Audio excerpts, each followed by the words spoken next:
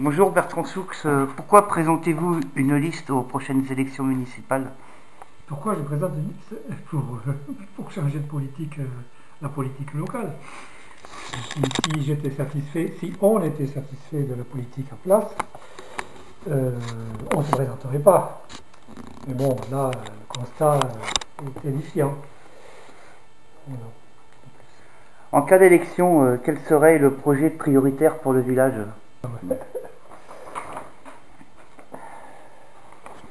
Il euh, n'y a pas réellement de priorité, euh, puisque c'est des, on a, un projet assez complet.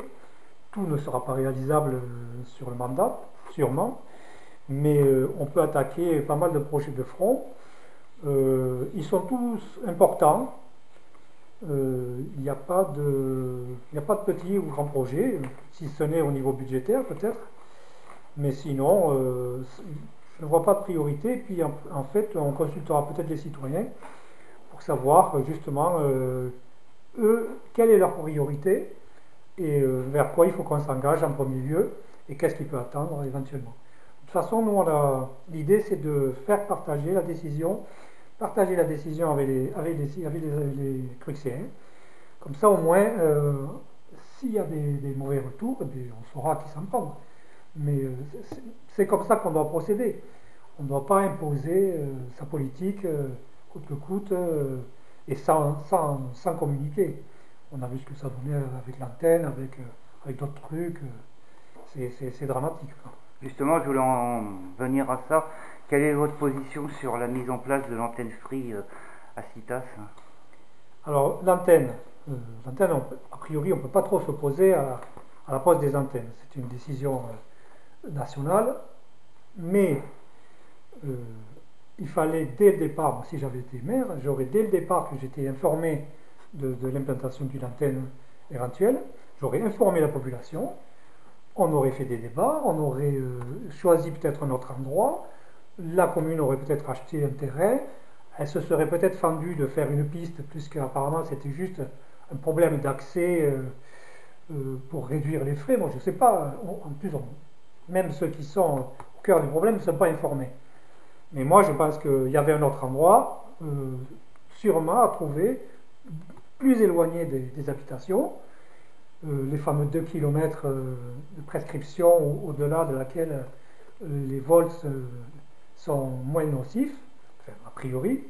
Donc on pouvait, on pouvait se positionner sur un terrain, acquérir un terrain dans les bois ou et créer un bout de piste ou même acheminer de matériaux avec des engins appropriés. Mais bon, euh, je crois qu'il y a eu urgence là, euh, là aussi, euh, de réaliser des projets juste avant les élections. je crois qu'ils se sont tirés une balle dans le pied en voulant profiter de l'aubaine et avancer trop vite, comme il faut maintenant avec l'éclairage public qui se termine alors que ça fait 12 ans qu'il a commencé. on remet de la peinture sur la route, enfin des trucs un peu ridicules, mais bon c'est de bonne guerre, mais c'est, euh, je ne sais pas comment ça sera perçu par les électeurs. D'accord.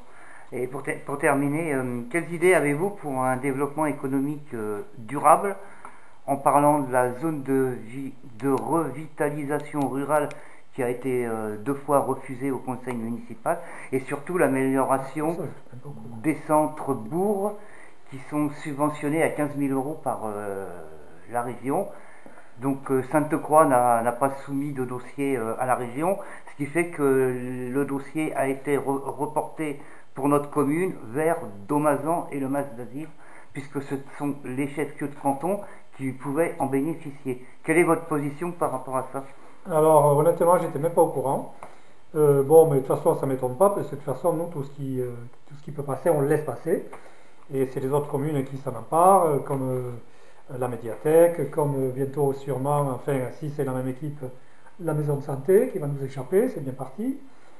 Euh, moi je dis dans, enfin nous disons dans notre, notre profession de foi qu'il faut faire, euh, faut faire preuve d'opportunisme et de réactivité pour trouver le financement. Donc, c'est-à-dire que quand il y a des opérations qu'on est au courant, il faut peser bon, le budget, ce que peut supporter une commune, mais effectivement, il ne faut pas attendre, comme a, a priori la traversée d'Aglo, je pense que sur le budget, moi, je n'ai pas vu qu'elle avait été euh, vraiment bien euh, supportée au niveau des subventions. Elle nous coûte quand même euh, plus de 550 000 euros. bon, pour un résultat qui est discutable et qui n'est pas, forcément le village, mais enfin bref. donc effectivement, il faut savoir profiter des opportunités. Le village, on le met aussi dans la profession de foi, il est à embellir, les entrées de ville, le centre-bourg, la signalétique. Bon, après, les gens trouveront, on a, bon, c'est pas l'essentiel du programme, mais l'embellissement en fait partie. Euh, en l'occurrence aussi, euh, les, lieux euh, remarquables sur le village qui seront identifiés, fléchés, expliqués avec des petits panneaux. donc là, on est sur l'attrait touristique, bien que bon, moi je ne suis pas un fan du tourisme, mais le tourisme, ça fait quand même vivre.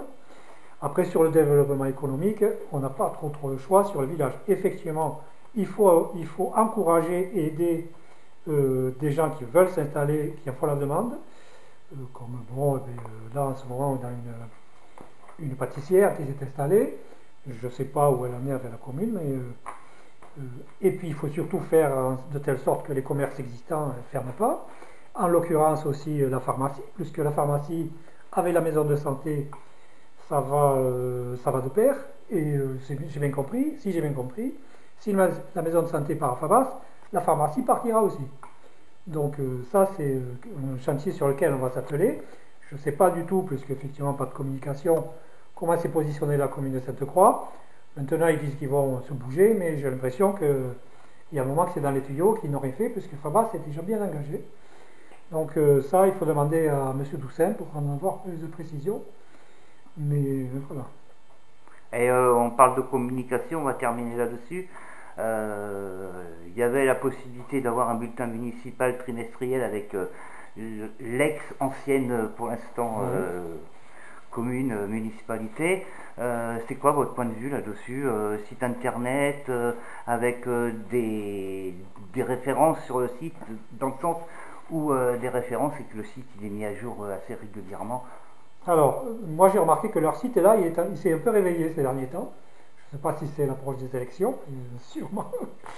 Et euh, effectivement, nous on va le rendre vivant. Et puis il ne sera pas que Internet, il, sera, y aura un bulletin papier. Euh, bulletin papier qui sera peut-être plus régulier que, tous les trimestres, on verra, c'est suivant. Mais moi je compte surtout sur euh, la participation des gens aux, séances de conseil municipal qui seront ouvertes, bon, elles sont forcément ouvertes, mais où la parole sera ouverte aussi. Euh, en fin de séance, euh, déjà, euh, on expliquera aux gens ce qu'on fait, et puis les gens ils pourront poser des questions, et puis ils soumettront des idées, et, il y aura aussi la, création de commissions, pour les gens qui voudront. Hein. je sais que les gens, ils sont beaucoup en demande, mais après quand il faut s'investir, des fois c'est plus compliqué. Mais on demandera leur avis, ils seront consultés, ils auront même, je pense, un peu de pouvoir sur certains trucs, au niveau de la conduite eh ben, des travaux les travaux des impôts municipaux, par exemple, des choses comme ça, des petites choses. Et donc, euh, je pense que c'est informer les gens à travers un site, c'est bien. Euh, on ne peut pas tout mettre parce que ça peut être réparatif, mais il faut quand même les, consulter et les faire parler. Donc, il y a des bulletins, les gens pourront répondre. Moi, je serai, bon, si je suis élu, je me mets à mi-temps de mon, de mon métier, donc je serai disponible la moitié de la journée, tous les jours, et le samedi. Et si les gens veulent, ont des questions à poser, ils vont me les poser directement, et je serai joignable par téléphone, et je me rendrai disponible. Donc, euh, et forcément des réunions euh, de conseil municipal qui ne seront pas trimestrielles comme euh, c'est l'habitude, qui seront au moins mensuelles. Et la mairie sera ouverte le mercredi matin La mairie sera ouverte tous les jours. Tous les jours. Sauf le dimanche. Alors si ce n'est pas la secrétaire de mairie qui ne sera pas là, qui sera pas là, ce sera moi. Donc euh, il y aura toujours quelqu'un à la mairie. Au moins une demi-journée. Ben, Minimum.